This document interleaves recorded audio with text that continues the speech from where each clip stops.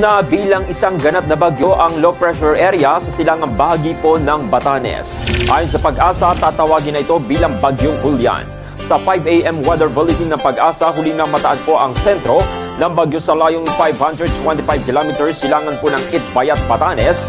Taglay ang lakas ng hanging aabot sa 55 km per hour.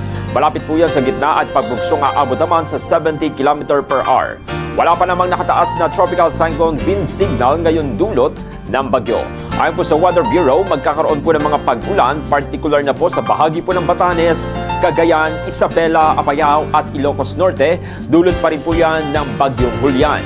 Aasahan naman po sa natitirang bahagi ng Cagayan Valley, Cordillera Region at Northern Luzon ang mataas na tsansa ng pulo-pulo mga pag-ulan, pagkidlat at pagkulog. Dulot pa rin po yan ng mga uh, ng bagyo. Pero samantala, inaasahang mananatili po sa loob ng PAR ang Tropical Depression na Julian sa mga susunod pang araw. Nakikilos patungong timog na posibleng lumakas at maging isang tropical storm o typhoon.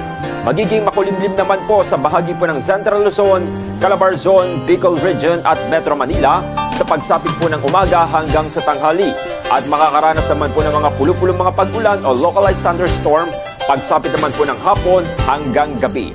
May posibilidad din pong umabot ito sa kategoryang tropical storm mamayang gabi o bukas po ng umaga at maging severe tropical storm sa linggo at typhoon naman sa darating po na Martes. Wala direktang epekto po ang bagyo sa Palawan at sa malaking bahagi po ng Visayas kung kaya't inaasahan po na magiging maaraw sa umaga hanggang hapon ngunit maaaring makaranas po ng mga pulupulong mga pag-ulan sa mga piling lugar pagsapit po ng gabi.